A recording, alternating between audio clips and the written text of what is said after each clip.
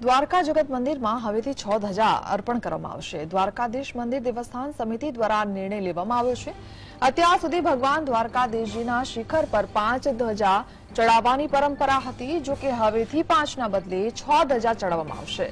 બેપરજોય વાવાઝોડા સમયે જે ભાવિક ભક્તોની ધ્વજા શિખર ચડાવાઈ નહોતી, તેમની ધ્વજા ઠાકોરજીને અર્પણ કરી શિખર પર ચડાવવામાં આવશે. દ્વારકાધીશ મંદિરમાં અત્યાર સુધી દરરોજ સવારે ત્રણ અને સાંજે બે એમ કુલ પાંચ ધજા ચડાવવામાં આવતી હતી. જો કે હવેથી મંગળા સમયે ચાર અને સાંજે બે એમ કુલ છ ધજા મંદિરના શિખર પર ચડાવાશે. પાટણ શહેરમાં જલારામ મંદિર ચોકથી વાયા કર્મભૂમિ લીલીવાડી તરફનું રસ્તાના મરામત પેચવર્ક, સીસી રોડ તથા નવીનીકરણ માટે બે બે વાર ખાતમુહૂર્ત છતાં પ્રજા માટે આ જાહેરાત માત્ર કાગળ પર રહી હતી. બે વર્ષ બાદ પણ એક ઇંચ વરસાદ આવે તો વરસાદી પાણી ખાડામાં ભરાતા વાહન ચાલકો અને રાહદારીઓ અહીંથી પસાર થવામાં ભારે હાલાકી થાય છે.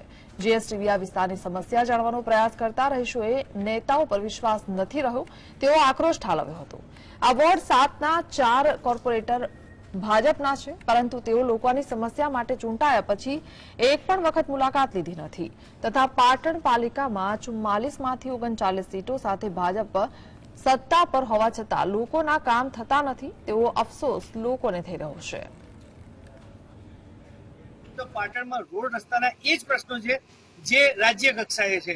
કેટલી વખત વારંવાર રજૂઆતો કરીએ છતાં પણ આ જે સરકારમાં અત્યારે બેઠેલા નેતાઓ છે એ નેતાઓને બિલકુલ મગરના રીતે આ કહી શકાય કે મગર જેવા થઈ ગયા જે રસ્તાઓ જે રસ્તાઓ તૂટેલા છે.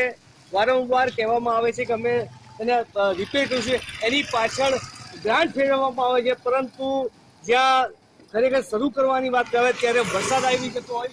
અલ્કેશ પંડ્યા જીએસટીવી પાટણ. રાજકોટમાં ગુરુ પૂર્ણિમાના દિવસે એક દુઃખદ ઘટના સામે આવી હતી. જિલ્લાના રીબડા ગામ નજીક આવેલા એસજીબીપી ગુરુકુળમાં ધોરણ દસમાં અભ્યાસ કરતા વિદ્યાર્થી દેવાંશ ભાયાણી ગુરુ પૂર્ણિમાના કાર્યક્રમ સમયે ઢળી પડતા ઉત્સવ શોકમાં ફેરવાયો હતો.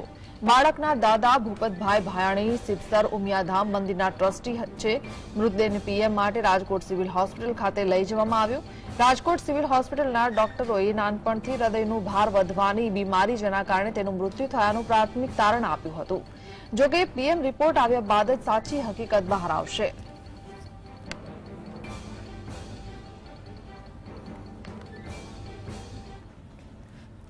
ધારીના ચલાલા ગામમાં યુરિયા ખાતરના ડેપોમાં ખેડૂતોની લાંબી લાઇન લાગી હતી. ખાતરની અછત સર્જાતા ખેડૂતોની લાંબી લાઇનો જોવા મળી હતી.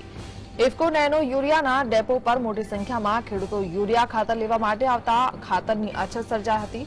ત્રણ ઇફકો યુરિયા ખાતરની થેલી પર એક નેનો યુરિયાની બોટલ ફરજિયાત આપતા ખેડૂતો મૂંઝવણમાં મુકાયા હતા. ચલાલામાં ઇફકો નેનો યુરિયાના ડેપો પર તેમજ અન્ય એગ્રોની દુકાનો પર ખાતર લેવા માટે ખેડૂતોએ પડાપડી કરી હતી.